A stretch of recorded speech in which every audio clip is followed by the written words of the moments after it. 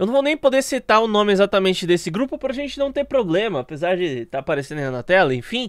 Então, evidências de uso de criptomoedas por determinado grupo aí estão aumentando, aponta TRM Labs.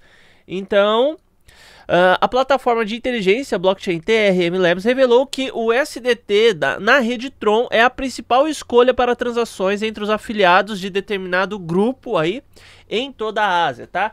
Esse grupo é o tipo de grupo que infelizmente né, utiliza aqueles artefatos que né, bombam, se é que você me entende, e fazem as coisas né, voarem, tá? Então esse tipo de grupo aí então foi identificado. E assim, claro que Tron é a principal moeda a ser utilizada. Aliás, o SDT da rede Tron. Mas eles utilizam várias criptomoedas. E é claro que sempre vai ter um ou outro que vai falar assim: ah, tá vendo? Bitcoin, criptomoedas são moedas para o crime. Só que não. O que acontece é, pelo fato de Bitcoin pelo fato de Avalanche, pelo fato de Tron, pelo fato de Solana, pelo fato de é, Ada Cardano, BNB, enfim, serem criptomoedas, serem dinheiro, é que eles podem usar. Aí é que tá o negócio. Se não fosse dinheiro, eles não poderiam utilizar.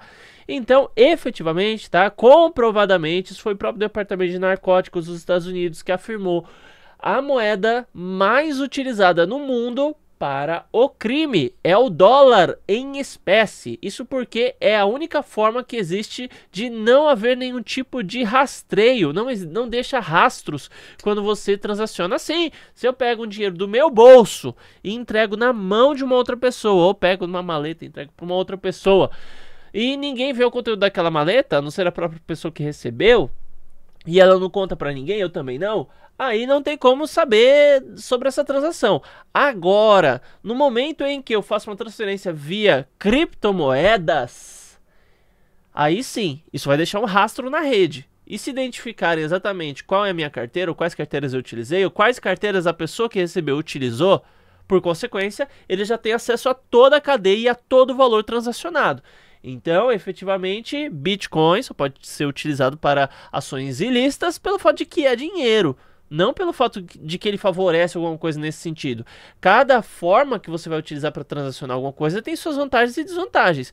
Dólar físico, desvantagem. Você vai ter que usar, você vai ter que fisicamente carregar aquilo. Agora, dólar virtual, né, ou, ou a stablecoin de dólar, enfim, desvantagem. Vai deixar algum tipo de rastro. Vantagem, você não vai precisar, você não tem como ser pego no meio da rua com, com dólar virtual, não tem como identificar.